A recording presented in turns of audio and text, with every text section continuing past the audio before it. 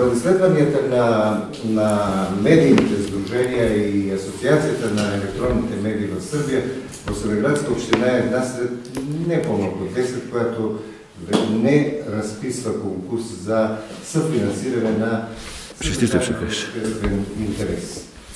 А, защо това се случва? Имайки предвид, че ние тук имаме повече медии, които известяваме, които пишеме за информация от общ интерес. Степчо. Не, не, това искам да питам господин Закари за общината, не е национална. Е, па тоа е многу интересно, тоа е врзано едно с друго. Врзано е по законите. По законите врзано, затоа искам тој да каже и јас ще кажа. Понеже ние имаме национален совет кој има две основанија, братство, Општина Босилевица предимно живеат българи. Като е тоа, Национален совет има също ингеренции тука като, като општината. И задржано од, држа, од државните закони да ние финансираме национален совет. Според закона, а, општината е должна, значи, општината, од било која општина во Србија, според три, три варианта, е должна да финансира работата на Национален совет. Тоа е ако са над 10% а, некој малцинство в тази општина, служебна употреба на езика, ако е провозгласена в тази општина, и други низ третата, третата работа. При нас сви три исполняваат тоа. А, Општина Босилевец финансира работата на Националниот совет, а ние чрез Националниот совет финансираме двете медии кадето е Националниот совет основател. Това означава, че община Босилев да оставим Захариев, няма вече задължение да публикува се вържаме за А, националния съвет. не, според закона а, може, А не мора. А не мора. Значи, ние да се обръщаме към.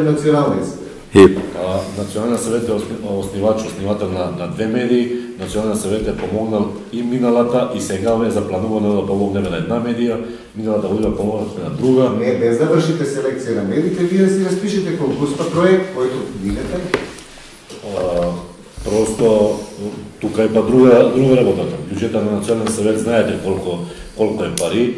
А, тази сума а, не представлява а, многу пари за за едно малцинство което е като нашто и просто нема доволно доволно средства.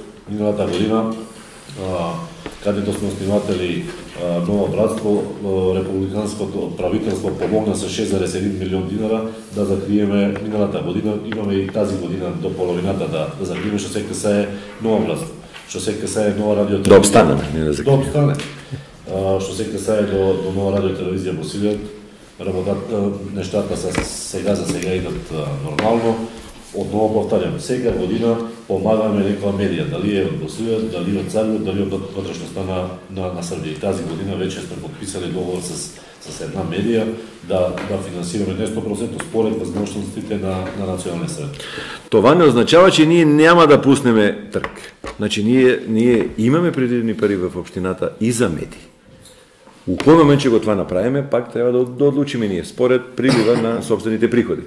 А да, но вие имате толкова много конкурси, толкова много публикувате конкурси, най-различни, за най-различни издружения и всичко, а за информирането за обществени. Да се потрудиме да Да. бъде. И, и А допълнително, не- макар с по-малка стойност, да има. Да Добре, има. добре, Да, да, да, да. добре. Пак казваме, не сме задржени 100 на 100, понеже вече имаме два медија които сме држани да ги финансираме. Национален съвет не ние, а ние помагаме пак Националния съвет.